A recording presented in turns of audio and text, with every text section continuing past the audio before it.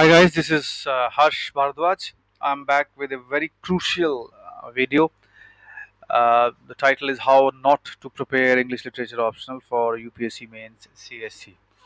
The reason I have to come up with this video is uh, because a lot of students, aspirants that I have come across in last couple of years since I started teaching, posting videos, a lot of them start off with the wrong premise so once and for all, I want to share my suggestions about things that you start off doing wrong.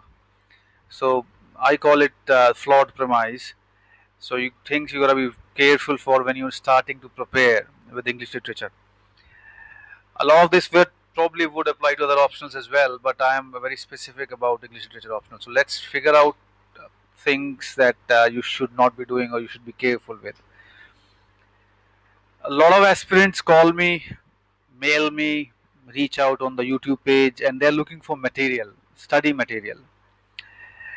And uh, if you are an English literature optional, you probably know by now that there are no courses as such, uh, no books. Brilliant tutorials used to do an English literature optional course sometime back, and their material is floating around the net or the market but it's outdated and it's uh, not much help. So anyone who comes to me looking for material i tell them that you will have to create your own material right? And this is uh, very important for english literature optional right? So the first thing you gotta do when you figured out that you want to pick this optional is to get the upsc syllabus right? And read it carefully. And then get all the original texts all the original text and then understand thoroughly paper 1 and paper 2 i have made a lot of videos about that about various papers uh, various strategies for both papers and how to understand the syllabus and all that. Read around talk to people right? Try to understand the syllabus first. Don't start looking for a ready-made material because there isn't any ready-made material that will help you. So don't look for one. You'll have to create one second and the most important uh, thing is to prepare your own strategy. A lot of students a lot of literature students people with masters or ba in english literature they make this mistake because they're used to reading text and they have texts at hand. So they just get the syllabus and they're like wow let's start reading. And they just jump in and start reading the text guys this is very important that you understand the syllabus first you understand how the syllabus is divided in paper 1 and paper 2 you understand how the paper how the syllabus translates into the paper and into the questions. So thorough understanding of how the syllabus is structured is very important before you start doing any preparation. And for that uh, you need to prepare a strategy a good plan of action. Don't just jump in with the reading part because if you just jump in with the reading part i can guarantee you that you will not be able to finish your reading part in six months or eight months.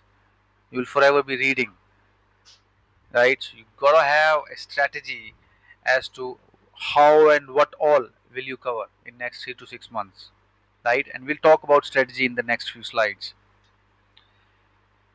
The first strategy the primary strategy that i talk to students about is to take both the reading and the writing simultaneously.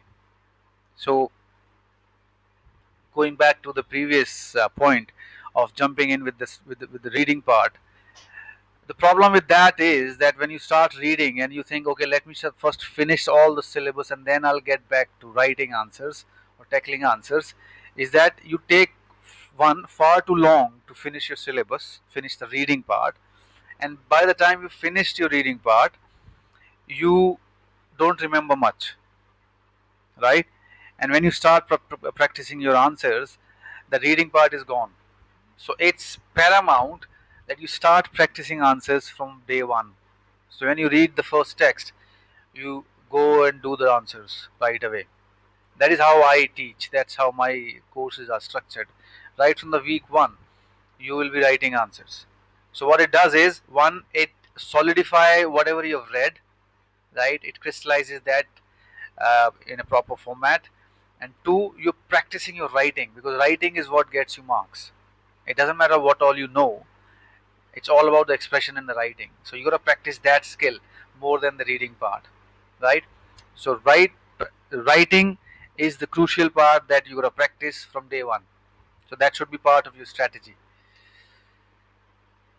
Now this uh, is again a problem area for a lot of students uh, maybe there aren't a lot of mentors or guides or coaching centers or courses or tutors for English literature optional. So students are kind of in the dark and they they refer to everyone. They consult far too many people, seniors, ex-aspirants, professors, and uh, then in the end when they're not able to find a good resource to rely upon, they head to the internet. And for every text that they read they're consulting far too many uh, internet resources.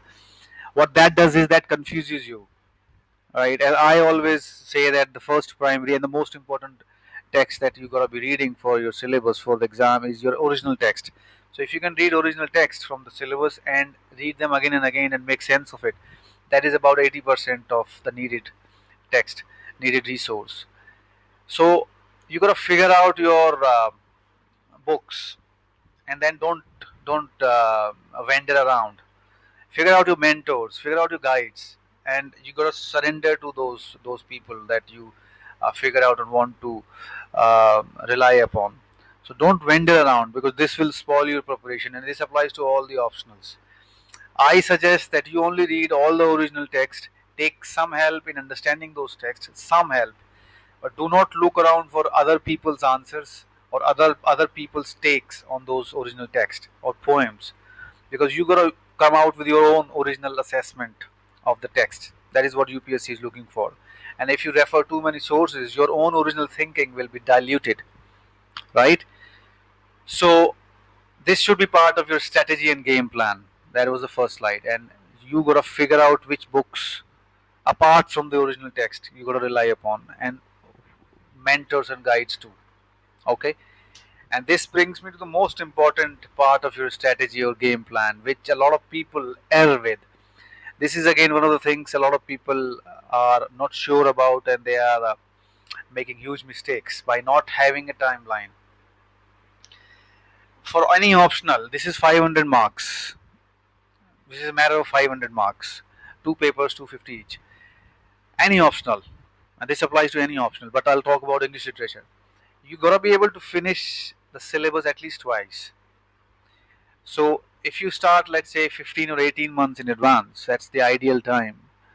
But whenever you start so if we start with the first point the first course completion should not take you more than 3 to 4 months. Okay? Our course is 14 weeks so it should not take you 3 to 4 months. Just focus on getting the syllabus done as quickly as possible the first time around. Because as i said you should also be practicing answers at the same time. So in 3 to 4 months you will read all the text and you will have practiced hundreds of answers. So that's a good start. Then you put it away. Then you focus on your G